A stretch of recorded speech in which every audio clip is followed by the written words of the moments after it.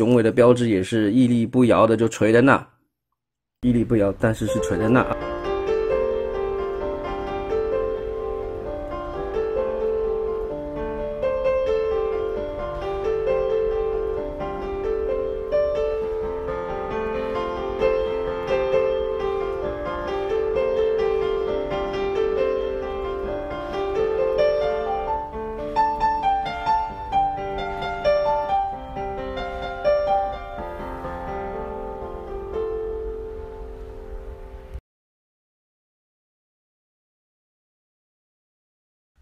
各位再次收看《五部汽车的变形金刚》分享时间，这是一千两百一十一集的节目。今天给大家做这款铁工厂的 IFEX 第四十二号的 Heat Death，它本身的话呢，有给它一个中文译名叫做热极逆鳞啊。那热极的话，倒是跟这个前面的这个单字啊，这个 Heat 是一个火热的一个意思，Death 是死亡，但是它用了一个热极啊，可能前面有一个热吧啊。那逆鳞是龙才有的一个一个东西啊，那就是反正就是听起来就很炫。也是有点中二的名字啊。那这个包装盒呢，比一般铁工厂的玩具呢要大上的多。那 这个配色是有点过年喜庆的感觉。不过我个人比较没有那么喜欢了，因为它本身玩具已经偏红色，红又是一个红底，就感觉有点不是那么样清楚凸显主主题的一个感觉啊。这个包装盒这一次我是给的分数比较没那么高。包装盒比较大，那玩具有没有比较大呢？哎，确实是有的。我们拿出最近的几款。呃，节目里头出现的小比例玩具，给大家做个对比好了啊。首先拿他们自家的一个 Megatron，你看，身高明显是高出了，你看光看头顶的高度啊，确实是高出了一个档次。然后呢，最近一个异军突起的这个 T 一啊，这个我拿出一个前一阵子的这个黑寡妇。OK，那这个 NA 的话，当然也不能够错过，NA 也是要拿出来对比一下的啊。NA NA 的这个头顶高度大概跟它是比较接近的。呃，所以整体来说的话呢，这一款的这个热极逆鳞呢，算是小比例玩具里头的一个，算是比较有分量的玩具了。那实际上还是拿个官方的一个 deluxe 等级做一个对比，最高度的部分呢是差不多高啊，但是你头顶高度的话呢，还是官方的一个低级别别的玩具是比较高一点点。那你知道它的一个分量之后，我还是要不得不提一下它身上的一个零件数啊，以这个比官方的 deluxe 等级还要小的玩具来说呢，身上的。这些零件量是真的是非常非常的多，分的非常非常的细啊。那以材料用用胶来讲的话呢，就是这两片啊，这两片部件啊，这两片部件，我觉得是其实跟其他地方用料差不多，但是它的这个结合卡扣的这个位置呢，设计上呢是比较有点小小的小小的恐怖。你看到这个地方有点白痕。那我第一次还没变的时候，从盒子里拿出来就已经有一点了。待会变形的时候给各位展示，您就知道了。那身上有一些透明的部件啊，那透明部件的话，并不是呃纯透明，它是有一点毛玻璃这种感觉啊。这个在那种呃，就是可以做修修的事情的那种汽车旅馆里头是可以看得到，气氛是蛮有带动气氛的感觉啊。当然，我们现在讲的是一个 OK 正正派的硬派的一个玩具啊。就不要提太多那一方面的了。那身上的涂装的话呢，除了原本红色的塑胶色之外，有一些地方是金属金属红，那有一些银漆的点缀，金色的点缀。那这个地方啊，非常雄伟的一个呵呵 莫名其妙的一块一块部件啊，就垂在这个地方啊。这是我可能第一次看到的时候，我想是不是有什么部件可以推啊？就发现是没有的啊，确实就是 OK，就剖给你看了啊。那后方的话呢，有一条这个尾巴的这个部分，这个地方也算造型的一部分嘛啊，还是可以稍微有点动一下，挺帅气的。后面有两片呢，这个呢，你姑且可以当成是后面的一个裙甲吧，就垂在后面，算不算累赘呢？我个人觉得不算吧啊，还是比较好看，就是跟它的一个造型是有搭的。那背后的翅膀呢，一共是两片式的啊，一片两片。那感觉的话，就是会比较大、比较重。对，没有错。这种有翅膀的话，这种玩具的话呢，你完全展开的时候是必定会比较重的啊。那这个脚后跟的一个站立的话呢，就是你可能必须要稍微去控制一下啊，因为它这个脚后跟啊，这个地方的话呢是可以啊，极尽所能的再往后面压到底啊。但是呢，就是这样子压下来，再往后面压到一个最最下面啊，它是可以再往下面压一些的。然后呢，它脚有一个比较好的一个，应该是个球形关节，有个接地啊。所以呢，就是站稳的话呢，应该还是没什么问题啊。啊，这个拳头掉下来，哎，拳头掉下来，顺便讲一下了啊。这个是一个掌形，那另外一个则是有个爪形啊，这是它的一个附附带的，就是一共有三对的一个手掌。那这个掌形的话呢，就给各位看一下啊，就是这个掌形还是比较帅啊，掌形比较帅，这样 OK，然后它的这个手臂的话，这个地方因为有一块这个变形的结构，它这里是有一个个往外延伸的一个连接感，所以你这个两手臂呢可以完全的展开，所以它两手展开的时候就会非常的帅气啊。然后头部的话是一个球形关节，可以再往上看一点点，啊，整体来说的话呢，美型度是非常之足够的。但是这个手掌的话，就再次的先把它换回来好了，因为你在变形的时候呢，你还是只能换回的这个握紧的这个拳头啊，这样子向向天握拳呢，也是很帅气啊。这个玩具应该说铁工厂的玩具呢，在人形啊，特别是人形的一个。美型度上的话呢，是几乎是不需要特别去怀疑的，都是非常好看的。这一手的话呢，是一个龙形的一个手。那如果你要把它变形成这个，呃，龙的一个整个变成一个龙形的话呢，这个部件需要把它给转过来，把黑色的部分转进去，然后这个地方包覆过来啊，等于是把这个拳头呢给收到这个内部去，这个地方啊，如果你想把它直接变成是一个龙头的话呢，这样子也是没有问题的。那我们就大概看一下它的一个可动啊，头部是一个球冠，刚已经有跟各位提过了。那面部的涂装呢，小型的玩具吧。眼部的话呢是红色，但它的眼部呢，除非说我看错，不然它眼部其实是没有涂装，就直接让它呈现红色的一个塑胶色。头顶有金色的点缀，侧边灰色的这个点缀啊，脸部是银漆，涂的算是中等啊。称不上是非常精美，胸口这一带是一个金属红的一个漆，然后这是塑胶的红色，又有金属漆。中心的这个这个点呢，是一个呃这个这个琥珀色的一个透明件啊。腰身是可以转动的，腰是可以转动的。裙甲的话呢，是前面这一片是不能不能动的啊。然后这个雄伟的标志也是屹立不摇的，就垂在那，屹立不摇，但是是垂在那啊。这到底是好还是不好呢？这个也是很难说了啊。啊，除非你就是用一种很特殊这样这样这样的一个动作，可能就还可以啊。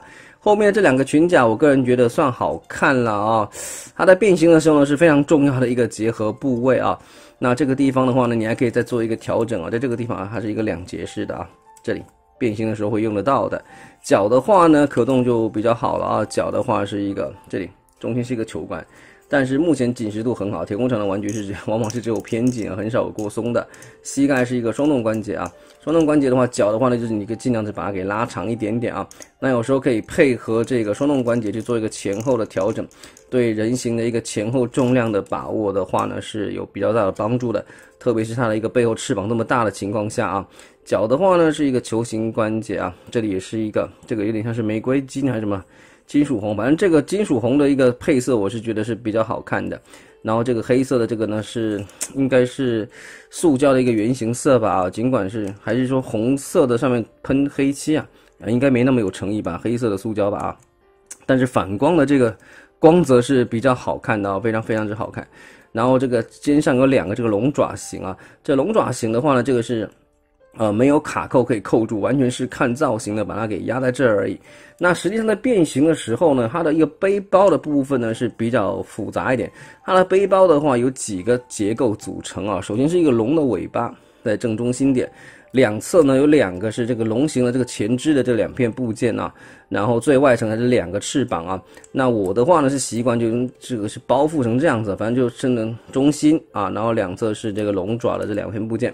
最外侧呢才是这个翅膀呢，把它给封起来，这是我习惯的一个摆法啊。我相信这也应该是它正常呃他们一个内部设定的一个方法了啊。那在外观上的话，两侧两手是不对称队形的啊。这个这个火龙王啊，或者是叫做这个热极逆鳞呢，它本来的设定呢就是如此这般了。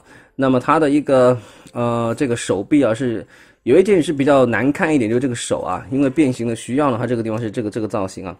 就感觉就是一个没有过度啊，就好像断开一个感觉，是稍微在外观上是比较有一些，呃小小的要要去吹毛求疵一下的。但是扣掉这个材质啊，可能嗯，就是在铁工厂的玩具里头玩了那么多来讲的话，这一款在铁工厂的这个用胶里头呢，我觉得。只能算排到中等啊，算不上，算不上是，算不上是属于上等的那一个 label。但是呢，零件数上呢是非常非常的惊人，尺寸也很大。那最妙的还是它这一次的变形呢，是我玩过几款第三方的火龙王里头呢这一款的变形的一个乐趣度呢应该是最高的。那我们现在来讲解一下它的一个变形过程了啊。首先的话，我第一个步骤我会习惯这个它的说明书呢讲解的呢真的是有有理解能力还是比较有限的啊。头部给它转一百八十度之后呢，头呢把它往上掰啊，它是有一个结合的一个卡扣的，你看到没有？这里有一个凸跟凹的一个结合，然后呢这里呢还有两个这个凸跟凹的一个结合在内侧，把它整个的给翻开。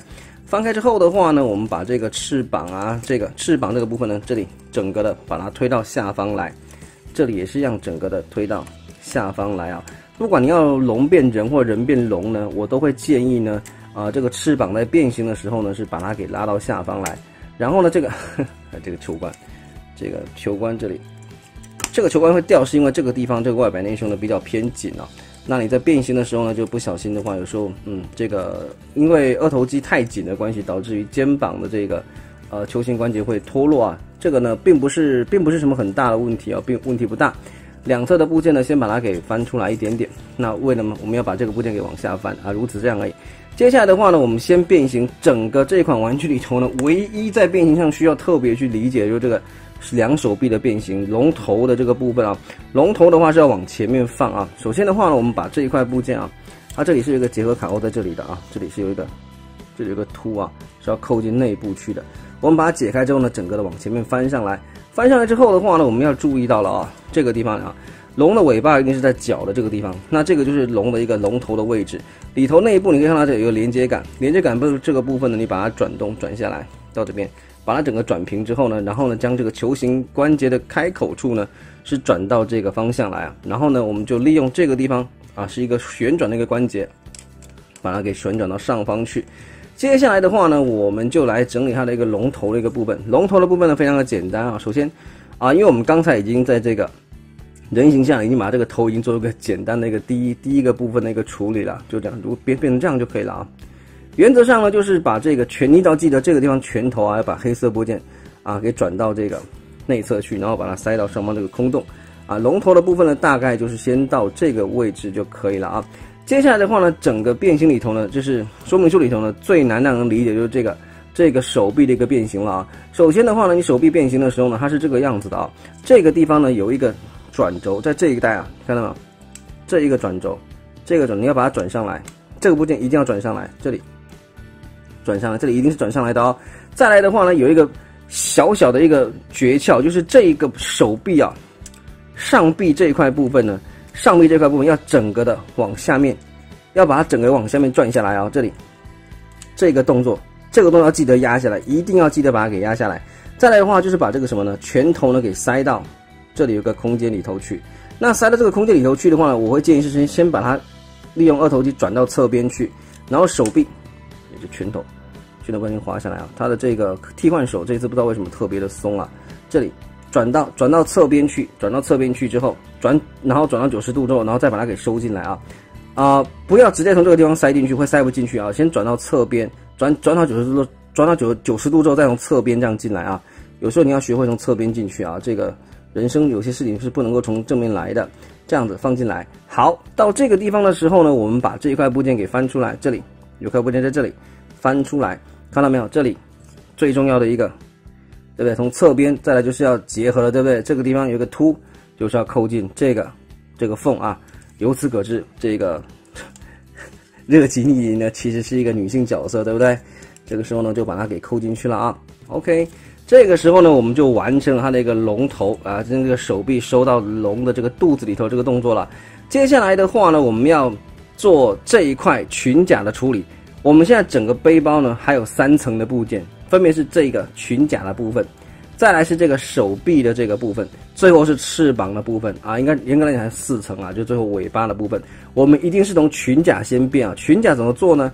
这个地方你看到了吧？这些有一个球形关节啊、连接杆的这些的，就把它绕到下方来，这里绕到下方去。如果说这个翅膀啊什么东西呢，去妨碍到你呢，就一律把它给推开就行了。推到下方来之后呢，刚刚是不是提过这块部件是可以往上面折的？这样。折上来，然后呢，到这个位置翻到这个地方来，那你就可以看到呢，这个地方呢是有一个有一个洞在这里，对吧？有个洞在这边，那另外一边就是凸了，对，你看这凸在这边啊。然后我们就是绕过这个地方啊，这个裙甲呢就是绕过这个部分下去，翅膀挡到，你就是把它推开啊，没有什么没有什么难度的。这个人到这里之后呢，把它往上面折，折上来，到这里，然后呢就是这里凸跟凹的一个结合，就可以把它给扣起来了啊。这个变形的顺序呢，照我这样子变的话呢，会比较流畅啊。如果你照说明书的变法去变，恐怕你会看不懂了啊。接下来的话就是把裙甲变完之后，再来变什么呢？变有这个龙爪的这个块部件，有龙爪这块部件呢，把它给往下面翻。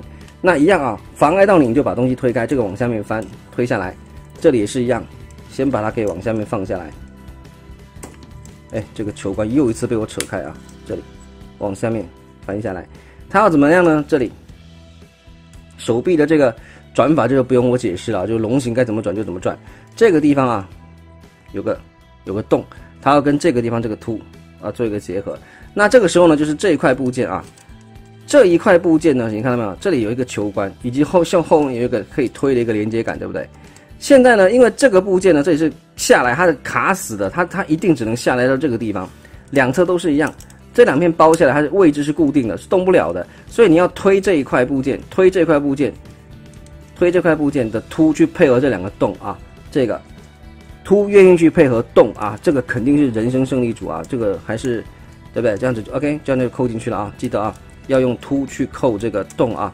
我们还是要有一点绅士的风度啊。然后呢，这个手臂的话呢，就是这个龙手，就是把它给自然的放下啊，不对啊，我们先把它变成一个站立形态的一个龙好了。所以这个手的话，就是要就把它往后放好了啊，就是因为这个火龙王的话呢是，呃站按照它这个设定，它是一个站姿的啊，当然不不是站这样就结束了啊，这样的太敷衍了啊。它的这个地方呢，腿的变形基本上是没有什么变形了，啊就是往往外侧叉开之后呢，往往下面折啊，这个变形应该懂吧？就往往两侧打开之后呢，就是往下面翻。然后这里是一个躯跟肋根呢，就把它给往前面这样凸进来缩短啊，就是把它给往大腿呢往这个啊小腿里头去大概深入一点点啊，这样子，然后就可以把它给做一个站立了。最后就是把这个翅膀的部分呢往上面提上来，往上面提上来。OK，这个地方刚刚不小心爆开了啊，这里。那这个地方的卡卡进去的话，我我我不建议你扣的太太紧，就有卡进去就可以了，因为扣的太紧的话呢。你看到没有？这个地方是有掰痕。你在掰开的时候，我怕扣太紧的话，你要把它掰开呢，我怕会有一个一个受伤的撕裂伤啊！就千万别这样啊！人家还是红色的呢，对不对？再来的话，我们就继续的把这个翅膀的话呢做一个简单的整理啊。这个最后是这个尾巴的部分呢是往下面放下来啊，这里有一个连呃双动关节往上面推。那我比较好奇的是呢，它这个尾巴呢似乎是。我看不出有什么结合的位置，它就是真的只是放下来而已啊！如果我变错的话，就慢慢各位再给我吐槽啊，给我留言都没有关系。那这个尾巴的话，就自然把它往后面垂就可以了。那按照了这个，如果是 B W 的这个火龙王的话呢，它是一个站立的一个龙的一个形态。那这样子的话呢，我们的这一款这个热吉利林的话呢，就完成了它从呃一个非常帅气，有如红盔甲武士的一个机器人呢，变形成一只。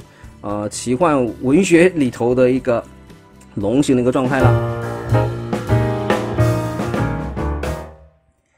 来看到它的一款龙形了啊，在龙形状态下的站立性呢，我觉得会更好啊，会非常的简单，因为它的一个有头啊，有尾啊，翅膀又是属于在中间，所以在龙形状态下的站立性呢，会比人形的话呢，会更加的呃安全稳定一点点。而它的一个翅膀的部分呢，最大的展幅呢，就是你要完全展开的话，就就这样子，完全把它张开给各位看一下好了啊。各位想看看它，呃，最大的一个最大的一个体积状态的话呢，呃，这个横幅应该也是逼近吧。如果你要完全展开，应该也是有将近三十公分的啊，也是非常非常惊人的啊，跟我这个桌子下面的这个小腿是差不多长的啊。那它的一个头部的话呢，也是有不错的可动性啊。首先从根部的话，就是这个地方啊，从这里球形关节啊，以及这个地方啊。不过转的时候还是这里啊，稍微还是捏一下这里额头，原本人形的额头肌也是可以转动的。然后这个地方的话是往上抬啊，这个给各位看一下，这个黑色的拳头就要收收进这个空间里头。那这个头本身的话呢，是这个地方啊，有一处的转轴啊，只能上下动啊。然后这个头的话呢，是这里末端的话呢，是一个。呃，根部关啊，这是一个球形关节，给各位看一下。那它的一个嘴巴的话呢，是给张开啊，张开之后里头还有一门火炮啊。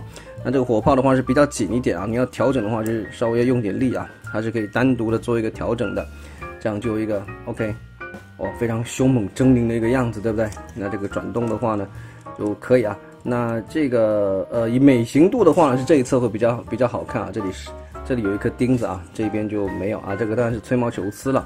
然后它的一个眼睛的话呢，是涂涂了一个金色的涂装，这个非常有这个熊火龙的一个感觉。然后这个龙的脚啊是这个金属红啊，这个红色的金属漆的一个位置呢，其实还是用的比较好啊。虽然不是全机上色，但是在一个重点的部位都有上到颜色，我觉得是还不错的啊。然后这个。原本在人形下胸口的这个红色，呃，这个呃琥珀色的这个透明这个珠子啊，这个在龙形象也是在一个相对比较重要的位置吧，这个位置好像身体的一个重要的一个一个位置，反正我不会讲了，就这个位置你知道的啊。那手臂的话呢，这个手的一个可动的话，就是这里根部是一个球形关节，而且呢，这个地方呢是有一个外摆内收的一个转动的，然后这里啊，这里是一个这个它这个球关呢是。内部、外部各一个球啊，是内外都有的，所以在这个地方是有一个有一个呃展幅的。然后这个手臂的话呢，这里最大呢可以弯超过于九十度。手腕的话呢是一个球形关节。那这个时候呢，我们就给各位示范一下。它其实啊，以我个人的话了啊，我 我还是比较喜欢这种啊奇幻文学里头的这种龙的一个战法啊，我会把它弄成一个这个。啊，四脚着地的一个形象啊，给各位做一个简单的展示。脚着地，那这个尾巴的话呢，因为后方是没有没有得卡住的感觉啊，就只能垂在后面了。那这个尾巴就把它给完全放平。在这个情况下呢，这个前肢的话呢，就是要浮到地面上，你可以做一个一前一后的一个摆放啊，配合整个翅膀张开啊，甚至再把它给头给抬高一点点。这个形象的话呢，是我比较喜欢的一个，呃，这个奇幻世界里头的一个龙的一个样子哦。这样展展示起来真的是非常的霸气了啊。那这个翅膀你要收起来，当然也是可以了。那以龙形的一个翅膀来讲的话呢，哈，不免吹毛求疵一下吧啊。这个龙，当然我不知道这个，呃，我不太清楚火龙王的这个设定，翅膀是在这个位置还是在这个位置啊？但是如果是以正常的龙的一个翅膀那个位置，应该是在这里啊。啊，不应该是在后面，是稍微的一个偏后面了一点点。从正上方给各位看一下啊，这个玩具的一个总长度的话呢，要拿出一个官方的一个 deluxe 等级来做一个对比好了，大概是两个低级玩具的一个长度。那这个顺便再拿出这个 T 啊，前一阵子推出这个老鼠啊，它这个老鼠这样子是超级巨大的老鼠了啊。那 anyway，这个以小比例的玩具来说呢，这一款火龙王的个表现我是觉得非常的好，它的变形的话呢。算是颠覆了以前大家说铁工厂玩具是这个变形是送的啊，但这一款的变形确实有点意思啊。以变形成兽形的一个一个组合呃这个变化的方式来讲的话呢，这一款的变形的一个包覆的一个有趣度，还有一个简单明了度，我是觉得非常之不赖的啊。个人是比较推荐这一款的变形啊，很难得会推荐铁工厂的变形，对不对？那美型度的话呢？